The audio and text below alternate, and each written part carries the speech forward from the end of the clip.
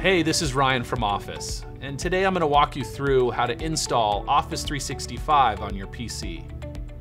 To get started, go to setup.office.com and sign in with your Microsoft account. If you don't have an account, watch my video on creating one. The link is below. Enter your product key and follow the prompts.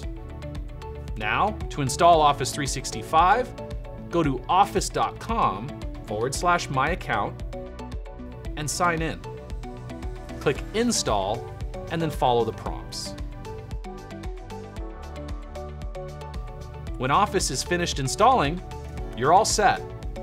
From your account page, you can manage your Office installations and share your subscription.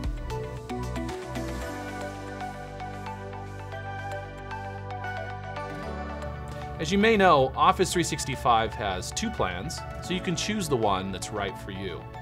Have other questions about Microsoft Office? Check out the other Office Help videos. We're here to help you.